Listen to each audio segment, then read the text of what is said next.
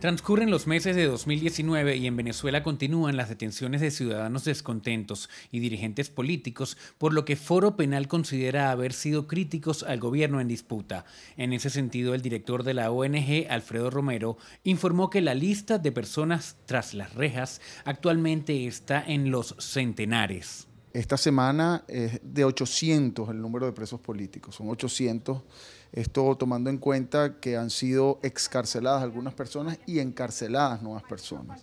Ya superamos el número de 15.000 detenciones desde el año 2014. Entre tanto, el presidente en disputa del país, Nicolás Maduro, instó a un diálogo sincero con todos los sectores de la oposición, aunque prometió la cárcel para otros. Estar preparado las 24 horas para defender el derecho a la paz.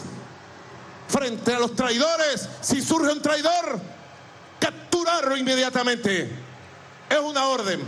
En ese contexto, el padre del parlamentario Juan Requesens, desde el Palacio de Justicia en Caracas, relató cómo ha sido impactada su familia con la detención de su hijo.